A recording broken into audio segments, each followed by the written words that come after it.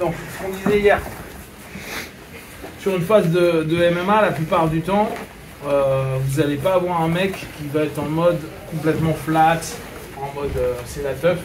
Pourquoi? Parce que bah, on va simplement faire des hammer fists et euh, bah, vous n'aimez pas trop. Donc par instinct, on revient sur le principe de base de Luta Jujutsu, il faut coller les gens. On colle toujours les gens.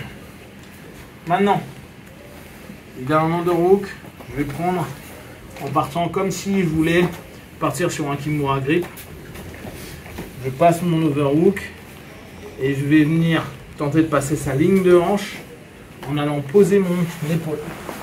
D'accord? Bon là c'est cool, il a été gentil, il a ouvert en partie. Voilà, souvent il n'ouvre pas, donc on va devoir se battre à ce niveau-là. Mais là moi j'ai pas trop trop de danger en termes de, de, de mouvement de sa part parce que il va être obligé à un moment ou un autre d'ouvrir. Et s'il ouvre, bah j'ouvre. Je peux passer encore plus facilement. D'accord? Mon idée, c'est de passer dans cet angle-là, y poser mon épaule, pouvoir être stable et en même temps être mobile au niveau de mes jambes. D'accord? Donc je suis là, je pars ici pour y mettre mon épaule. Je cherche vraiment à aller loin.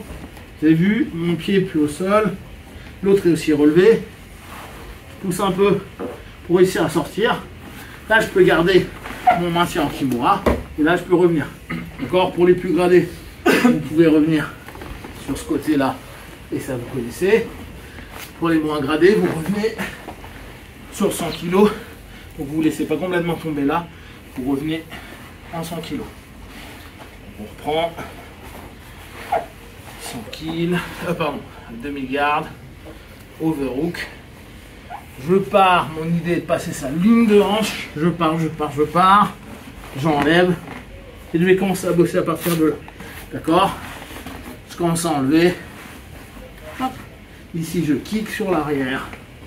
Et je reviens. Je m'en fous de la, la hein. C'est vraiment arriver en 100 kg qui m'intéresse. Je peux percuter un petit peu. Et je peux travailler tranquille. Ok? Allez, Jimmy.